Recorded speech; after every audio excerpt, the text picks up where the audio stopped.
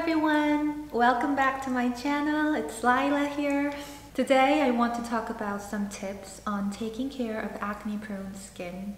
To tell you about my skin background first, I have been going through skin breakouts starting from my late teens and it got worse in my early 20s so I had to see my dermatologist about once a week to get my medicines prescribed and get some laser treatments done to kill the sebaceous glands. And even though I put so much effort and also money to get rid of those acne a couple of years ago, my skin got down to the worst condition ever. My chin area and this jawline was covered with acne. And I thought to myself, do I have to live like this forever? Because it seemed so endless. I didn't want to go outside my house, sometimes even my room. I didn't want to meet anyone. I didn't even want to go to work.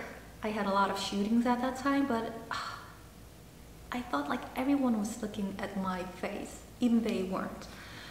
So that is the purpose of making this video because I understand how much one person can become so insecure and so self-conscious just because of a skin issue. I mean, it, it, can seem like nothing to some people, but it can mean everything to some people. I know that feeling because I have been there and I still have acne prone skin. It's just in my genes, so I have to live with it, deal with it.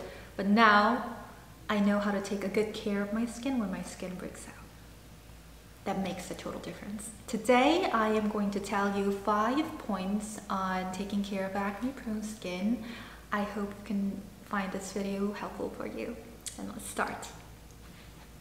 Number one, it is very important to know the cause of your acne. It could be the ingredients in your skincare products or even your shampoo that is not suitable for your skin type. The ingredients might be comedogenic, which means it can clog your pores, or you might be skipping your moisturizers too much, which can lead to more sebum production. Or it can be your lifestyle habit, lack of sleep, too much greasy or sweet food, or too much stress, and also it can be the internal problems like hormones or gut health you need to know the specific cause of your acne to come up with a fundamental solution to solve that problem in order to save time, energy, and money. Well, in my case, I think I had all the problems I just mentioned, so I had to make a long-term plan. Now I want to talk about choosing appropriate skincare products for acne-prone skin. First of all, exfoliation is very important. It takes 28 days for healthy skin to get rid of dead skin cells, but when those dead skin cells are not properly exfoliated at the right time, then those meet dust, dirt, sweat, excess oil, then it provides the perfect condition for bacteria to grow, and then it becomes skin inflammation. So we need to know what products to use for exfoliation I prefer chemical exfoliation products to physical exfoliation products because it is safer to my skin. I had to go through a lot of irritation when I was using physical exfoliation products because those scrub grains were too harsh for my skin. So I want to show you this Paula Choice products that I use regularly. I highly recommend chemical exfoliation including AHA and BHA. AHA refers to alpha hydroxy acid and it mainly contains glycolic acid and lactic acid.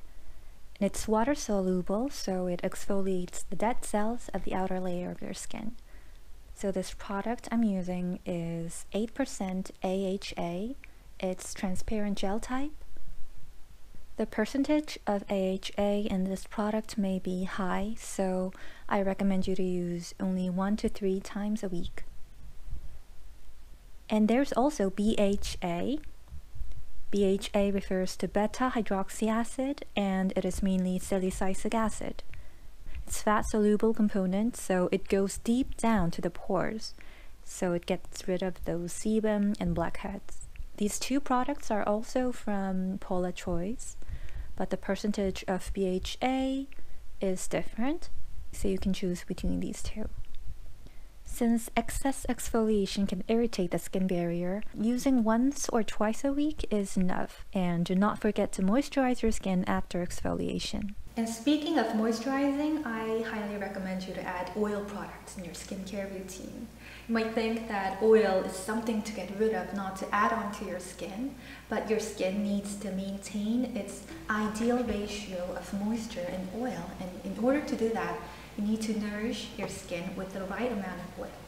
If your skin is over dry, then it produces more sebum, which makes those greasy oil and sticky oil that clog your pores. I once mentioned those in my nighttime skincare routine, so if you haven't watched it yet, please click on that card above. Lightweight oil like hemp seed oil, rosehip oil can be beneficial for your skin. I usually mix one drop of hemp seed oil or tamanu oil with my moisturizer and apply on my face. Tamanu oil is a bit heavier, but it's good for removing acne scars and regenerating skin cells. Also, you can use oil that has specific functions like tea tree oil. It has anti-inflammatory components or carrot seed oil, which is abundant in vitamin A that can be helpful for treating acne. But these two are essential oil that have to be used with carrier oil, so be careful not to apply the essential oil directly onto your skin. There are some spot treatment products I want to share with you guys. My dermatologist once prescribed me Differin gel, which contains retinol, but it was too irritating to my my skin, so I stopped using it. And then I also tried benzoyl peroxide spot treatment,